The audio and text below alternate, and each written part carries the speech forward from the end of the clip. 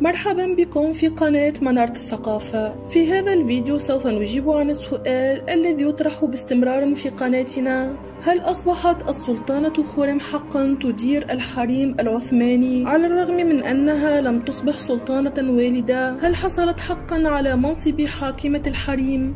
لكن عزيزي المشاهد قبل أن نبدأ من فضلك إذا كنت تتابعنا لأول مرة لا تنسى الاشتراك في قناتنا والإعجاب بالفيديو ونشره. مصدر الإجابة هو كتاب الدولة العثمانية المجهولة حيث ذكر الكاتب في أسطر قليلة أن السلطانة خرم رغما عن أنها لم تصبح سلطانة والدة إلا أنها حقيقة حصلت على صلاحيات هذا المنصب وأصبحت تدير الحريم العثماني. كان ذلك إثر نفي السلطانة مهدوران تحت غطاء مرافقتها لابنها كحاكم على ولاية مانيسا ولقد جاء ذلك وفقا لعدة مؤرخين إثر الشجار الذي دار بين السلطانتين مهدوران وخرم ووصل إلى حد الشتم والضرب. جاء ذلك أيضا بعد الزواج الرسمي للسلطان سليمان من السلطانة خرم ووفاة السلطانة حفصة إثر ذلك. وهكذا أصبحت الجارية التي كانت أول محظية يتزوجها سلطان عثماني وتصبح إثر ذلك حاكمة للحريم العثماني رغما عن أنها لم تكن سلطانة والدة.